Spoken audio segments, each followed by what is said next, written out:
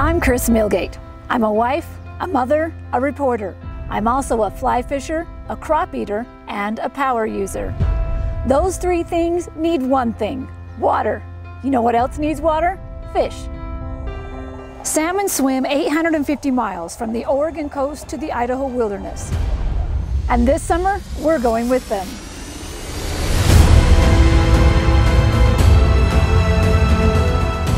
I'm following Finn 850 miles from the ocean to Idaho. See you on the migration route.